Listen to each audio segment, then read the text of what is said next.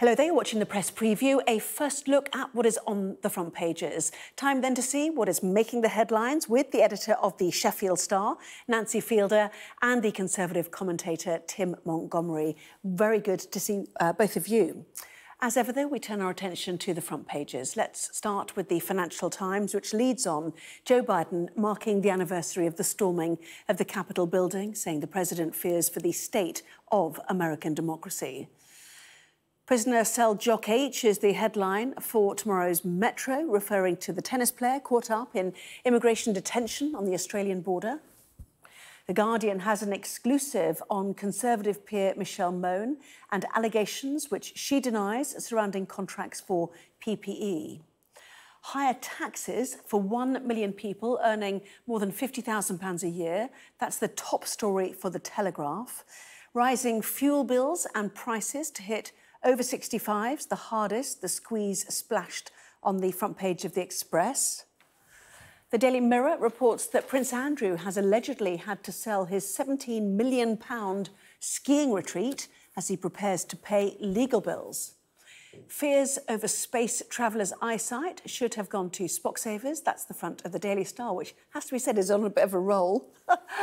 uh, so let's get the thoughts then of Nancy Fielder and Tim Montgomerie. The first time I can remember for a while where every single paper has a different headline uh, that they've chosen. Um, so, Tim, what was your choice? You picked up on uh, the comments of Joe Biden one year on from the Capitol riots. Yes, it's, um, of course, a year ago when those momentous events really shocked uh, all of us. And obviously, five people did die, but it could have been so much worse. We could have seen some of the leading politicians in America killed uh, as well. And so I think it's absolutely right that we regard this uh, occasion uh, with uh, gravity and hope that finally um, we will see some coming together of the American political system. But I'm afraid what we're seeing is heightened rhetoric, not just from the Republicans, but from the Democrats as well. And people trying to use this occasion now as an opportunity to sort of advance their own politics rather than um, to try and heal and bring a very divided country back together.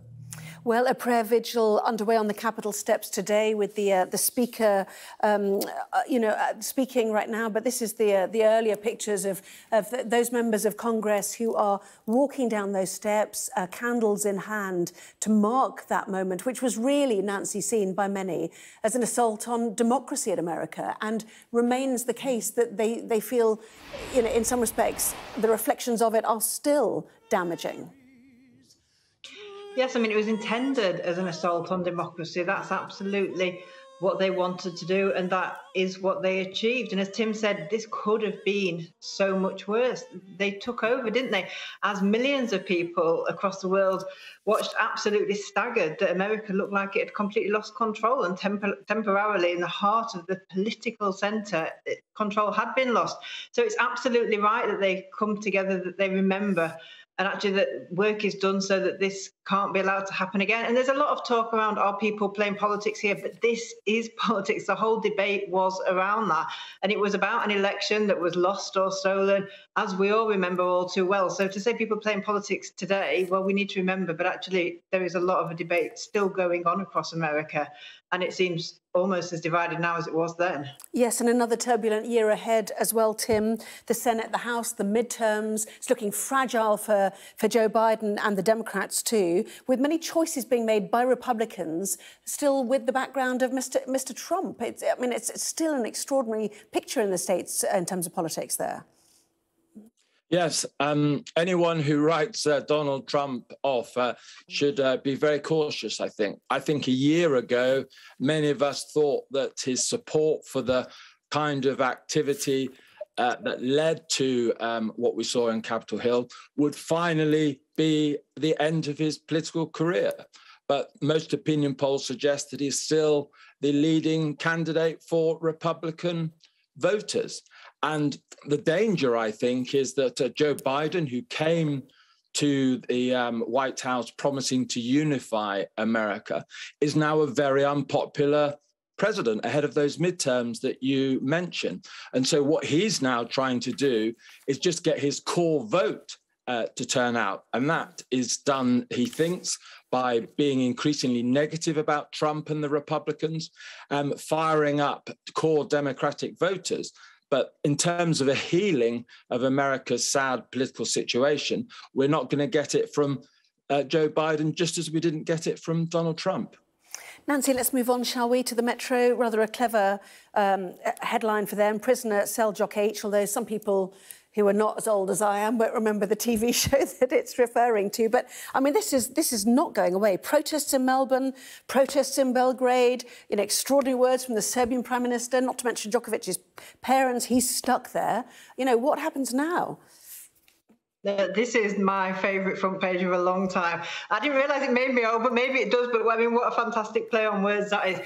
And actually, if you're not a massive tennis fan and if you're not a massive fan of Djokovic, maybe this is something that actually is a little bit laughable. So if you look at where the world is, how this pandemic, how this pandemic is going and impacting and destroying so many lives, and here we have international front pages looking at a millionaire, an incredibly good sportsman, but a millionaire who has chosen not to do what he needed to do to play, to, to defend, to get that 10th title, to get more adoration and more money.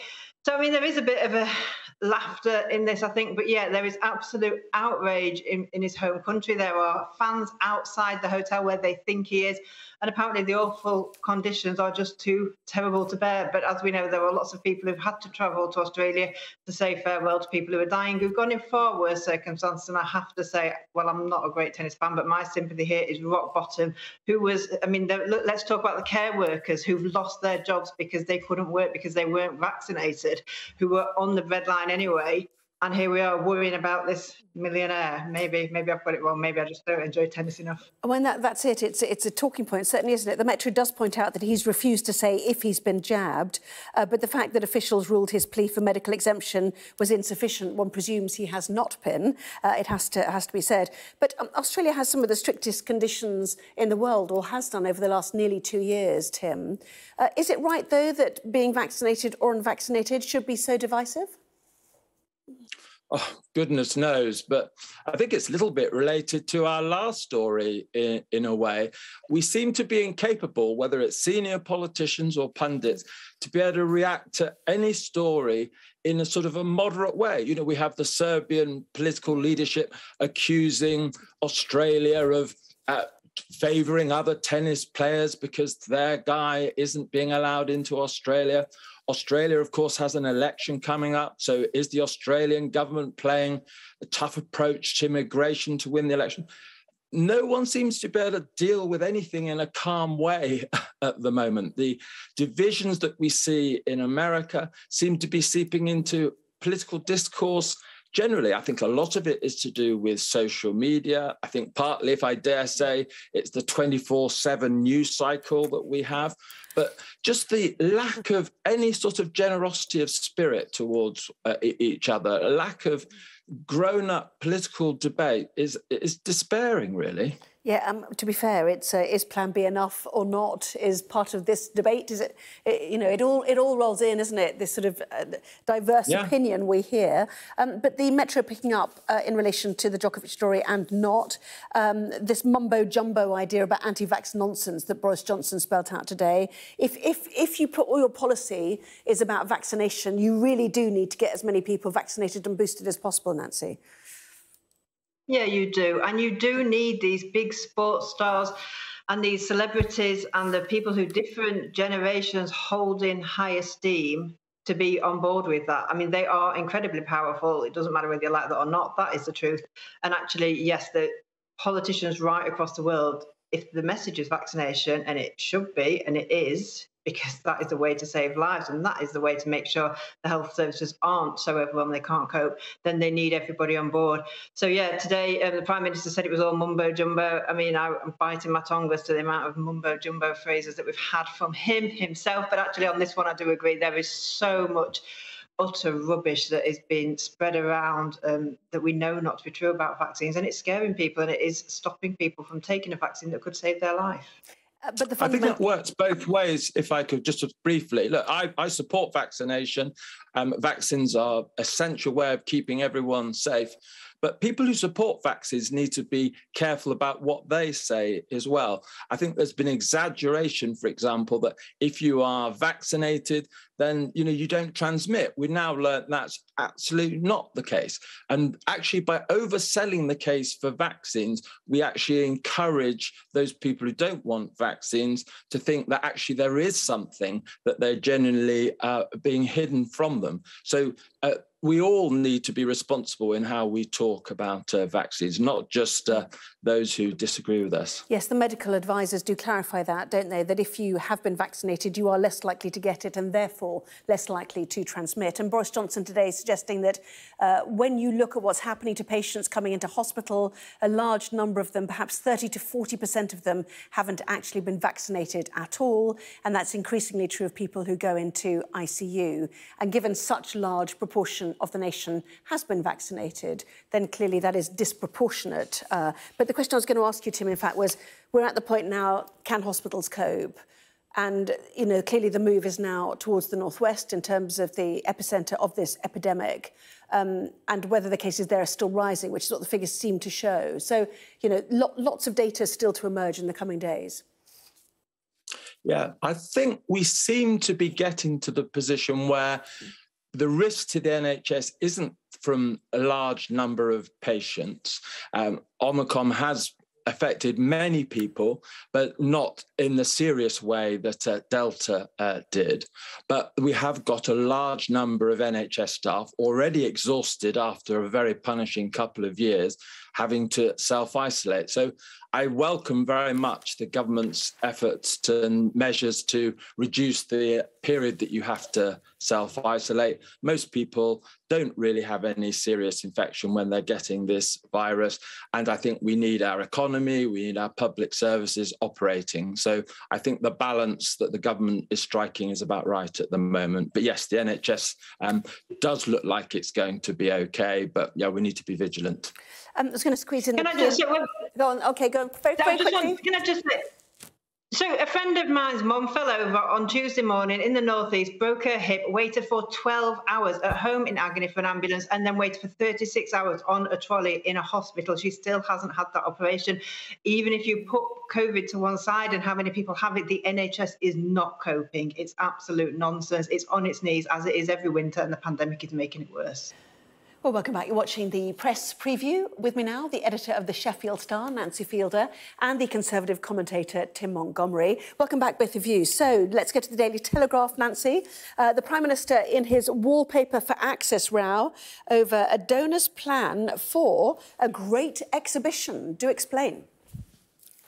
Absolutely. So these are the texts that our Prime Minister, who you might have thought might be on top of where the money comes from, at least somebody in his team might be, um, forgot about these WhatsApp messages, forgot to reveal them in the big scandal that's been going on for months now about who paid for the flat that in the end he paid for it to be refurbished, but it had already been funded by somebody else who happens to give lots of money to the Conservative Party.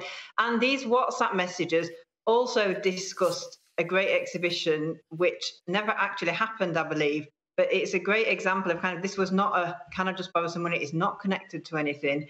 It, this is an example of kind of do you want to do this? And don't forget, I won't forget about this. It's sort of rubbing each other's back, it seems to me. And the Prime Minister insists he's done nothing wrong. But frankly, I think most people see it for what it is. And it's interesting because I don't think this really cut through until the wine and cheese and everybody else is in lockdown and we're having non parties in Downing Street.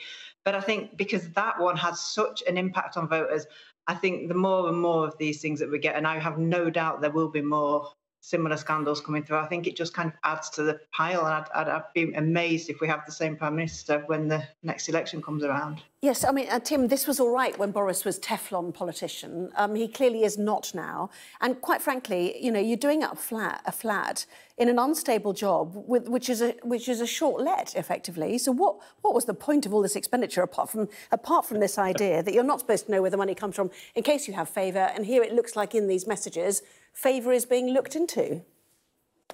Well, look. To, to, be fair, there is there is a I think a thirty thousand pound allowance for every new prime minister. Uh, you know, different prime ministers have different family arrangements. They, they, they, have to live above the shop in Downing Street.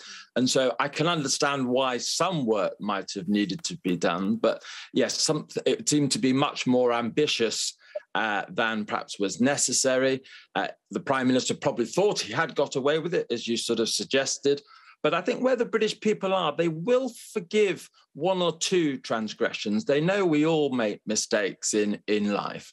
But the problem the Prime Minister has now is that there have been far too many of these uh, lapses. I think uh, because of his chaotic personal management rather than any sort of fundamentally unethical behavior. But he really can't afford further missteps like this, or I'm afraid his reputation uh, for uh, probity will, will really be lost. And I think Conservative MPs will be watching him very carefully Tim? and saying this must be the last occasion or the, near the last occasion when you mess up like this, Prime Minister.